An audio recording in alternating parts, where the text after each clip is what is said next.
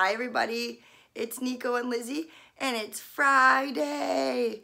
Welcome back to Miss Lizzie's Powwow Story Time. Hope you're doing well this morning. Um, today we're going to continue in the Good Guys 5 Minute Storybook. And one of the things I really like about these types of books is when all these different artists and um, authors are in the same book. It's just really fun to see all the different types of art that you get to see. And it's so different, which is just so cool. One of my favorite things about these types of books. So uh, today we are going to continue with our good guy superhero theme and we're going to jump right in. Today's story is Quiet Wyatt, super shy or superhero.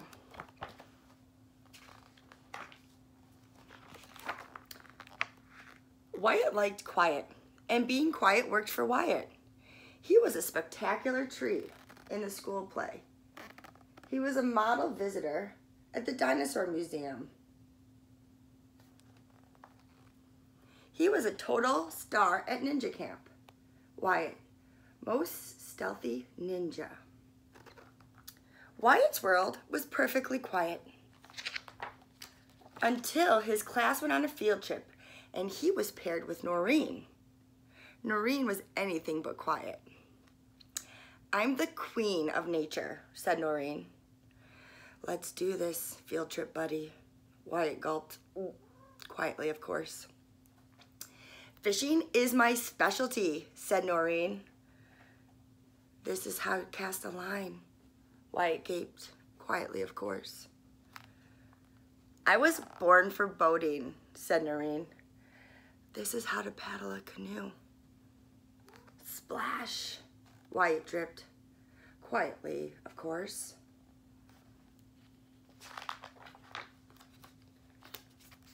Wow, said Noreen. I'm so good at noticing the details. It's scary.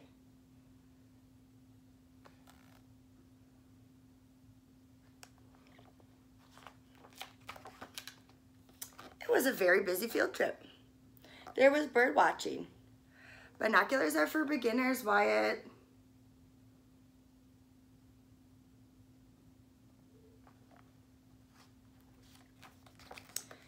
There was hiking. This is what you call trailblazing, Wyatt. Lake, hiking trail, and poison ivy.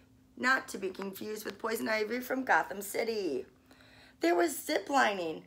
Don't look down, Wyatt. Somebody got extra quiet.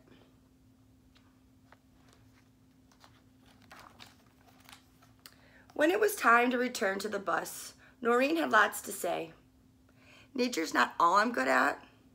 There's math and cartwheels and, oops, I almost forgot. I have the gift of song. La la la la la. Caution, loose rocks. Warning, loud noise may trigger rock slide. La la la la la. One thing was clear.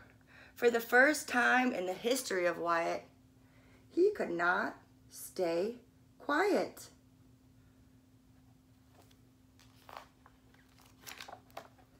Noreen rocks. Thanks, said Noreen. Glad you think so.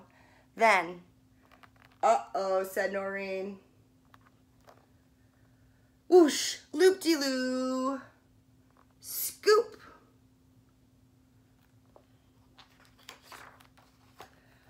Everyone was wowed.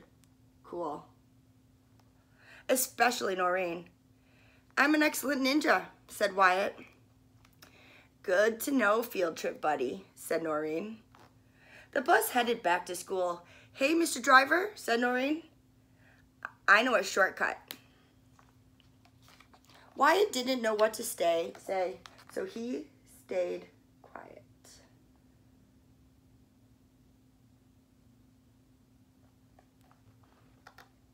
But from time to time, Wyatt wasn't so quiet.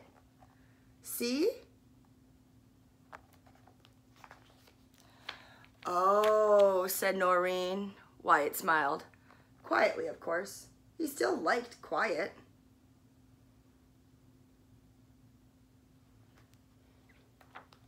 He also liked having a friend.